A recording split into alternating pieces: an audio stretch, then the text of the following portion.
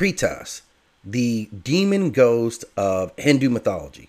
Thank you again for stopping in at Nine World Chronicles. As always, I ask that you hit that like and subscribe if you enjoy mythological videos. And today we get into something very interesting.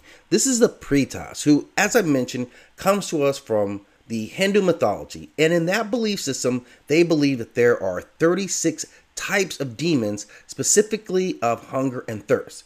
And that's what these spirits are. These are the spirits of people who committed criminal deeds and have been sent to the circle of perpetual hunger in their underworld.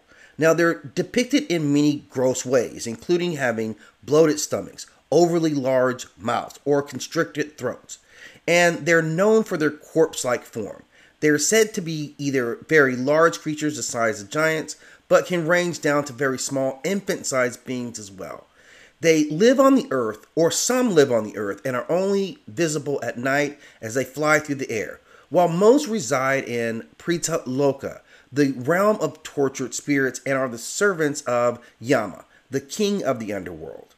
Now, these people are condemned to live a life in perpetual hunger and thirst. They cannot enter a new body and cannot enter into the home of God fearing people. They are said to be so desperate at times that they will seek to feed on excrement as an attempt to feel full or satiated.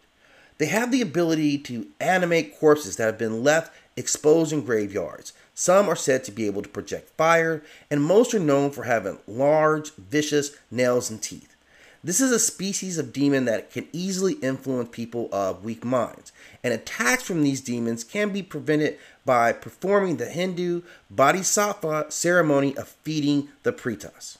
If you have more to contribute to this post, please do so in the comment section. As always, I ask that you hit the like and subscribe and click the notification bell so you know when new videos are about to drop.